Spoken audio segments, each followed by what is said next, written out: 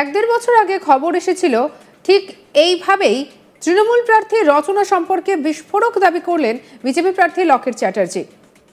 আর এদিকে সোমবার ভোট গ্রহণ ছিল হুগলিতে।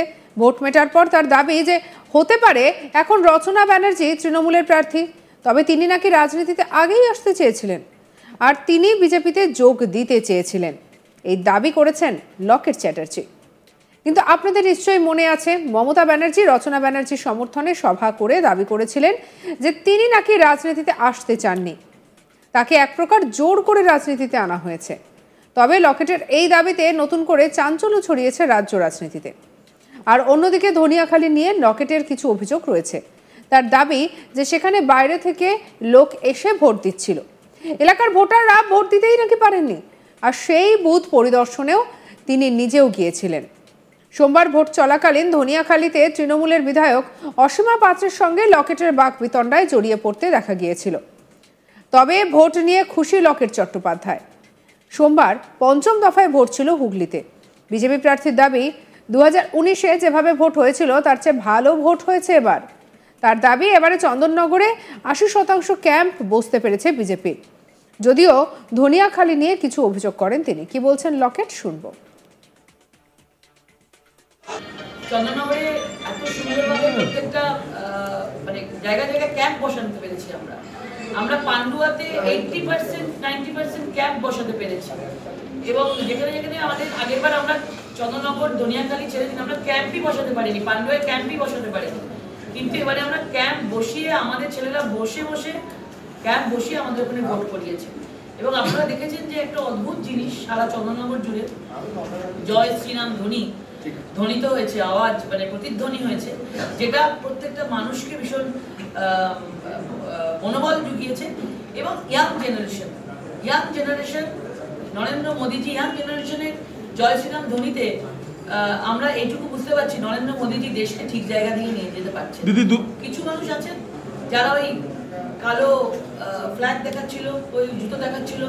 তো মাকে তারা বাড়িতে জুতো জুতো দেখাই হতো। আমি তো মায়ের বয়সী। তো সেই জন্য তারা আমি মনে করে নিয়েছি যে তাদের শিক্ষা দীক্ষাটা ঠিক হয়নি। তারা মাকেও দেখায় তাদের মায়ের কাছেও আমি ক্ষমা চাইছি। কিন্তু জিতে আসার পর তাদেরকে কি করে শাসন করতে হয় মা হিসাবে সেটা আমি নিশ্চয়ই করব। অন্তত এরপর থেকে তারা জুতো দেখাতে গেলে নিজের মায়ের মুখটা একবার মনে করবে দিদি দু হাজার উনিশের যে নির্বাচনের যে লড়াই এবং তারপর এবছরের যে নির্বাচনের লড়াই এটা কি একটু সহজ ছিল উনিশের তুলনায়? কোনো লড়াই সহজ না। আমি প্রথম থেকে বলে এসেছি। যে লড়াই সহজ না।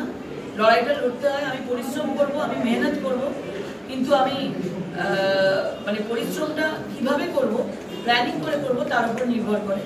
এবং আমরা সেই যেভাবে আমরা ভেবেছিলাম যে আমরা কীভাবে সবাই মিলে একসাথে ঝাঁপিয়ে পড়ব আমরা পুরোপুরি আমরা থেকে আমরা হান্ড্রেড বিজেপি প্রার্থী মনে করেন যে আগের বার যত মানুষের আশীর্বাদ তিনি পেয়েছিলেন, এবার তার থেকেও বেশি মানুষ তার পাশে আছেন। রচনা বন্দ্যোপাধ্যায়কে প্রতিপক্ষ হিসেবে বেশি গুরুত্ব না দিতে চাইলেও লকেট বলেন যে লড়াইটা কঠিন, তাতে কোনো সন্দেহ নেই। সোমবার সাংবাদিক বৈঠকে রচনা সম্পর্কে বিস্ফোরক দাবি করেন তিনি। লকেট বলেন যে অনেক আগেই উনি রাজনীতিতে আসার ইচ্ছে প্রকাশ করেছিলেন, বিজেপিতে যোগ দিতে চেয়েছিলেন। আমার কাছে খবর এসেছিল, ভুল করে তৃণমূলে চলে গিয়েছেন। সত্যিকারের রাজনীতি করতে চাইলে বিজেপিতে আসুন। লকেট আরও বলেন, রচনা কি করছেন জানি না। তবে সকাল সাতটায় টায়ার্ড হয়ে গেলেন। পরীক্ষার দিন, প্রার্থী যদি সকাল সাতটায় ক্লান্ত হয়ে যান, তাহলে বাকি কর্মীরা কি করবেন? বিধায়ক অসীমা পাত্র রচনার সঙ্গে থাকতে না বলে দাবি করেছেন লকেট। কি বলছেন লকেট আর শুনব।